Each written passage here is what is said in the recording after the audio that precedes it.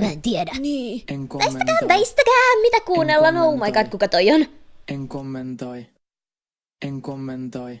En kommentoi. Siis onko sillä banaani En kädessä? kommentoi. Siis toihan En on se kommentoi. Antti En Tuisku! kommentoi. Markus ja Martinus by. Mm. Minä näytän musiikkia. Nykyään kaikki tehdään tietokoneilla. Se on oikeeta musiikkia. Mm. Antaa palaa! Tässä painakaa vaan space-nappia.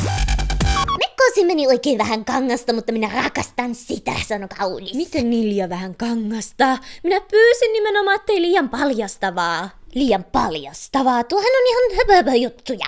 Nyt kuuntele minua. Jos haluat lisää Instagram-tykkäyksiä, niin kaula-aukko on iso. Sinulla on oikeus vaieta. Kaikkea sanomaasi voidaan käyttää oikeudessa todisteena sinua vastaan. Sinulla on oikeus asianajaja, joka voi olla läsnä kuulustelujen aikana. Oletko tehnyt rikoksen? En, Oletteko huijanneet ikänne YouTubessa?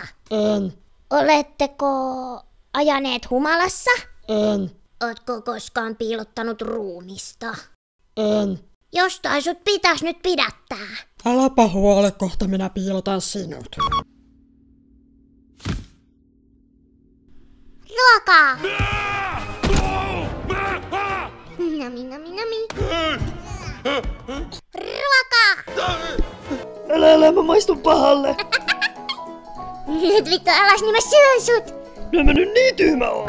Bas, nyt tehdään nyt yksi asia selkeäksi. Pokemon Go haluaa, että sä otat kaikki rädätäät ja pitchit, että sä saisit Diton. Mut ei ja ei vitut sä saa sitä. Mut mä haluan Diton. Etkö sä perkele vieläkään tajua, että et sä tuu saamaan sitä?